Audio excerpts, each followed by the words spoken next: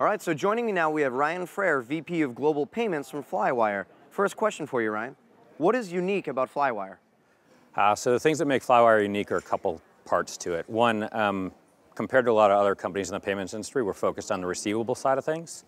So we actually contract with companies who are looking to receive money against invoices or something from a cross-border perspective. So take a example like an institution like MIT.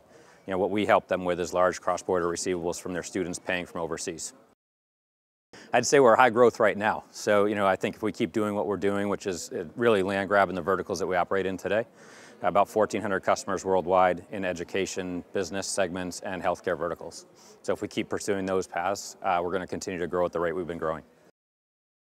Geez, ideal customers, really anybody that, that has a need for collecting money from overseas, you know, from an invoice perspective, and, and really at any spectrum of scale too. If you think about a, a small company that's looking to sell their products overseas, they don't need to start up a treasury function. They don't need to know what it's like to collect Aussie dollars and bring it here to the US.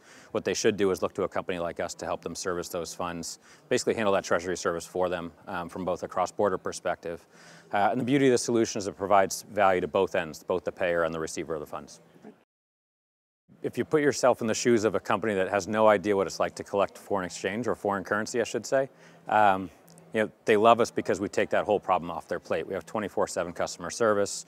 We have collection accounts across the globe through our global collection network. It's one of the strongest in the market.